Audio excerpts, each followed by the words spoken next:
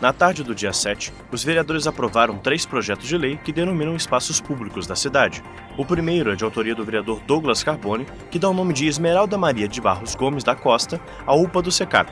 Esmeralda trabalhou como enfermeira no Hospital Universitário de Taubaté e nas prefeituras de Taubaté, Caçapava e São José dos Campos. Foi docente no SENAC para alunos de enfermagem e seu último emprego foi como contratada pela Ergoquali, prestadora de serviço para a prefeitura de Taubaté, como enfermeira supervisora da própria UPA SECAP. Faleceu aos 57 anos em decorrência da Covid. Já o segundo projeto é do vereador Richardson da Padaria e denomina Rua Quaresmeira a Rua 7 do residencial Recanto Tropical, no bairro Recanto dos Nobres. A sugestão se dá pela grande presença da espécie de árvore de mesmo nome.